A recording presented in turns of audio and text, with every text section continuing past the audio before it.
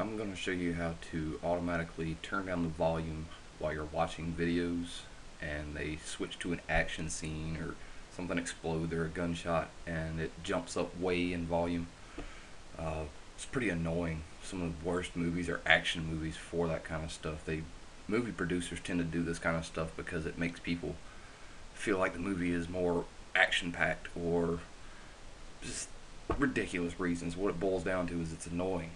Uh, so we're going to be using VLC Media Player to do it. I'll go ahead and give you an example here. As you can see, I've already got the uh, I've got the VU meter for the microphone showing over here. You can see as I'm talking, it's moving. I tap it, it goes up to the max. So let's go ahead and see what it sounds like without normalization.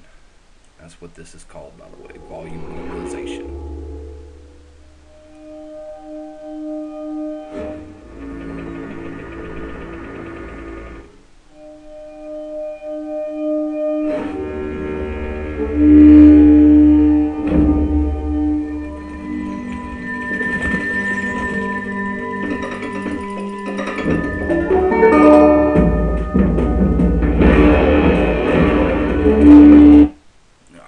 You can see we're pegging out. We're hitting 100% at a couple places during that video. In VLC, you want to go to Tools, Preferences, switch to your audio panel, check the normalized volume to. I prefer to drop it down to 1. This is uh, this is how much of the audio it's looking at to analyze to see if the audio has increased over time. And if you have a higher number, then it's looking at say five seconds of video and the audio jumps up for a quick gunshot, it won't get normalized. So I tend to drop it down to about one. Once you got that part, switch to full preferences view. Go to audio, filters, and check that one too. Hit save, and this is very important. You must close VLC for these uh, for these effects to go into effect. So we'll close that out, and then we'll watch it again.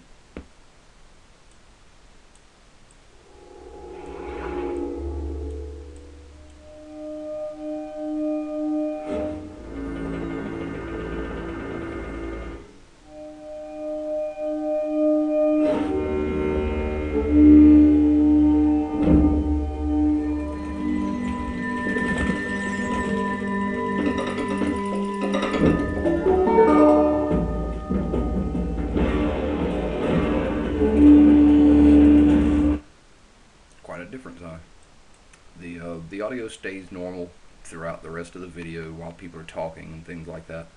And then when it jumps to some loud explosion or a gunshot or whatever, you don't get your ears blasted off. Me personally, I spend so much time watching a movie turning the volume up and down, up and down, up and down. It gets annoying and it really ruins the movie experience for me. So thank the guys at VideoLAN for making VLC Media Player and including the normalizer plugin. Hope you find it useful.